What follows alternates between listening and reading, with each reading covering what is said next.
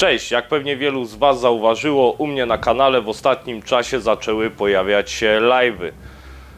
Live'y te mają na celu umożliwienie Wam zadania mi pytania, jeżeli macie jakiś problem z własnym autem. Wiadomo, ja też nie jestem alfą i omegą, ale jeżeli z jakimś przypadkiem się spotkałem lub coś na ten temat wiem, to chętnie przekażę Wam takie informacje, abyście we własnym zakresie mogli naprawić własne auto. Z komentarzami jest różnie, raz jest czas na nie odpisywać, raz tego czasu nie ma, wiele komentarzy też mi umyka, więc taki mój pomysł, aby ten kontakt z Wami trzymać i aby e, każdy, który chce, właśnie tą odpowiedź uzyskał. Ostatnio na jednym z moich live'ów pojawiło się pytanie, jak odpowietrzyć układ w silniku diesla. Właśnie chodziło tam o silnik z układem e, Common Rail. Tak się składa, że miałem z tym do czynienia. Odpowiedziałem danej osobie, jak taki układ odpowietrzyć, a teraz chodźcie do silnika i gdyby ktoś jeszcze potrzebował odpowiedzi właśnie na takie pytanie, no to wytłumaczę Wam jak najprościej taki układ odpowietrzyć.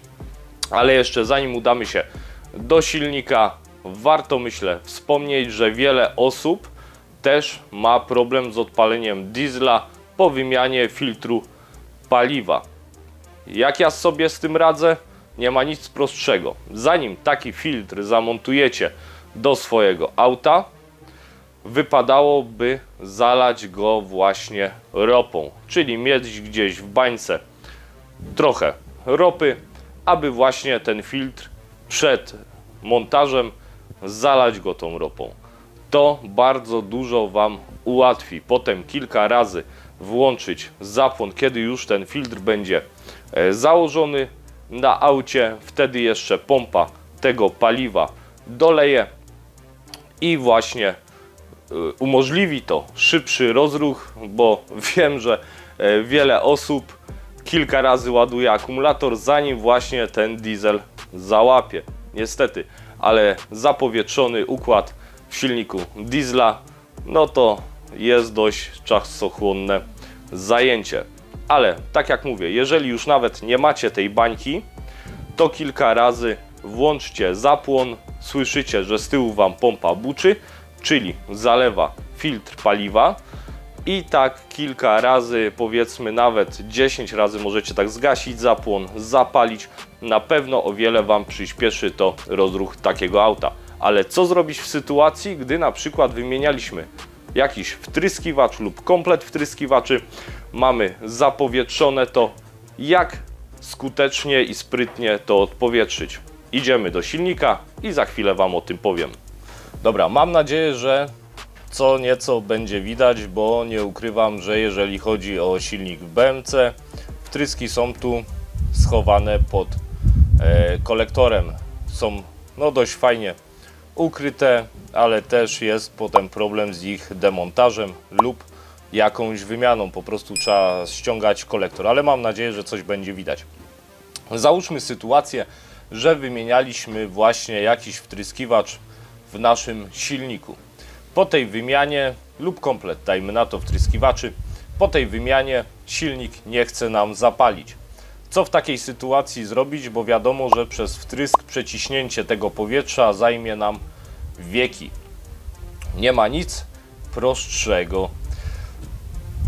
Pierwsza rzecz od strony wtryskiwacza, a jednocześnie ostatnia, jeżeli chodzi o praktycznie układ e, wtryskowy, która podaje nam e, paliwo już do samego wtrysku.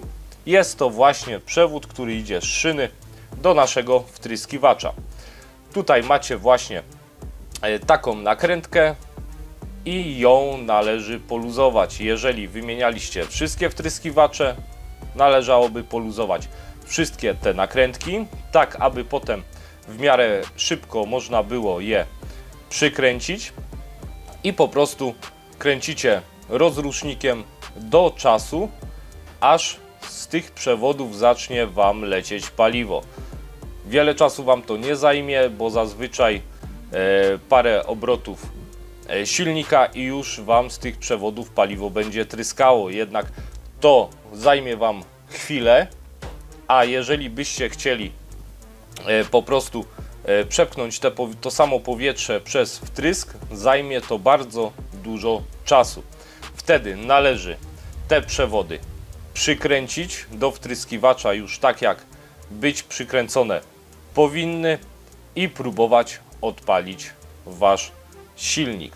I to jest tak naprawdę cała filozofia, jak szybko i skutecznie e, odpowietrzyć układ, jeżeli przykładowo wymienialiście jakiś wtryskiwacz.